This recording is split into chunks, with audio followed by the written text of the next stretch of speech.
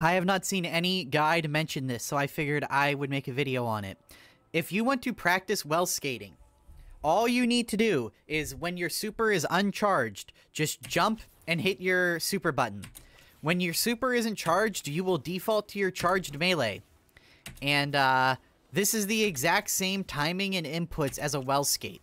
So if you can master this, all you have to do is add the heavy attack off of a ledge. That's not the part people screw up. The part people screw up is the, the cancel. Also, if you fail, this is what it looks like. And if you want a very quick, like, foolproof way to well skate every time, just hit your super and jump at the exact same time. Unless you are a loser bitch who sucks at video games and shouldn't be doing this kind of tech in the first place, and you're using a macro, there is no difference in how you input it. This game has a priority buffer system just like a fighting game.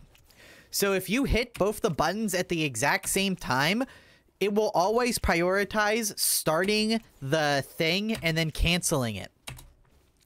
See, if I do even like a little bit of difference, if you if I try to let you hear from my mic,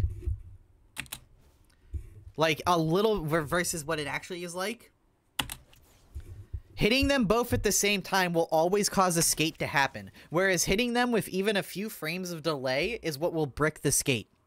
Unless you're using a macro like a scrub bitch, and uh, then you can be like, mm, yes, I input um super exactly um 10 picoseconds before the jump. Like, yeah, there it matters, but uh, literally no one other than like the worst players are doing that.